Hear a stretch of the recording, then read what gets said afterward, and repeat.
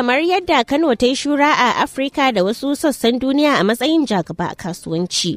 Addini, tarihi da al'adun Malam Bahaushe. Siyasa wata aba ce da a Najeriya musamman a arewaci jihar Kano ke sahun farko.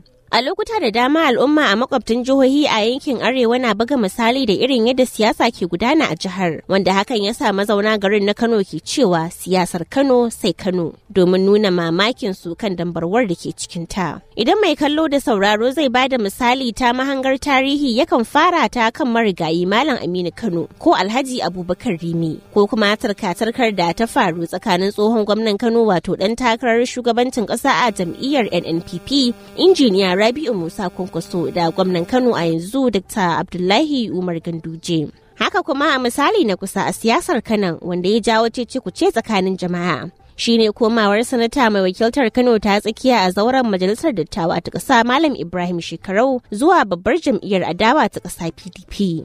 Inda wasu ke ganin sanata shekarau ya koma PDP ne saboda buƙatar ƙashin kai a maimakon ta al'umma. Idan za a iya tunawa dai Malam Ibrahim shekarau wanda ake wa lakabi da sardaunin Kano yana ɗaya daga cikin jagorori da suka kafa jam'iyyar da ke riƙe da shugabancin ƙasa a yanzu wato APC a shekarar 2015. Bayan lakabi ba sarauta ana kiran shekarau da suna Malam a bisa shahara da ya yi a fannin koyar da ilimi a makarantu daban-daban da ke faɗin jihar Kano. Kuma wannan na ɗaya daga cikin dalilai da ya sa ibrahim shekaru wanda aka haifa a ƙaramar hukumar kurmawa a ranar biyar ga watan nuwambar 1955 ya zama ministan ilimi a ƙarƙashin gwamnatin da ta shuɗe da goodluck jonathan ya jagoranta. Shekaru ya lashe zaɓen gwamna a kano a shekarar 2003 kuma ya mulki jihar na tsawon shekara takwas inda ya kafa tarihi a matsayin ɗan takarar gwamnan da aka zaɓa sau biyu a jere a kano. A matakin ƙasa malam ibrahim shekaru ya yi takarar shugaban shugabancin ƙasa ƙarƙashin inuwar jam'iyyar ANPP a watan Afrilu na shekarar 2011.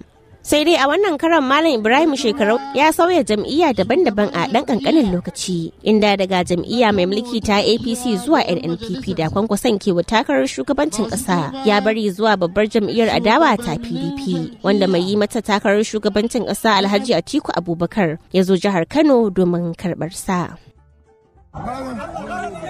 Allah ma albarka. Allah ji kan baba. Allah ji kan baba.